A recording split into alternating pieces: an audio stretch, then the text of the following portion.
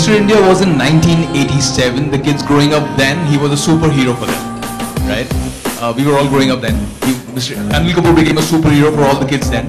But these are days when the Avengers are flying in on the 24th of April. We have Superman, and you know a lot of the television is closer. How do you think uh, Mr. X will fight all those superheroes as well as a legend like Mr. India? Uh, well, uh, these films don't have the story of Krishna and Arjun.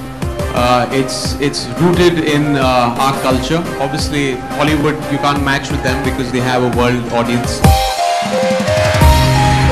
But I think in our film there is inherently, and I keep going back to this, is of course it will be a very new experience for the Hindi audience to see the VFX and the 3D in this. But it comes down to the story that I would boast about the most. It's a story of resurrection. Um, it is a story of how um, s- you know people can endure despite of limitations and hurdles that they they can move forward and, and achieve what they want.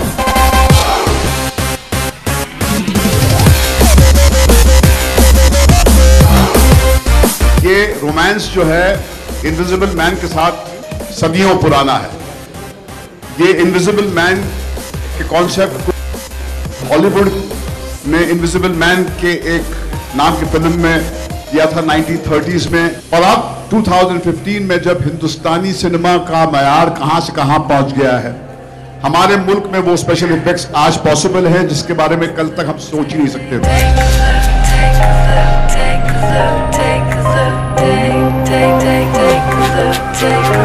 Take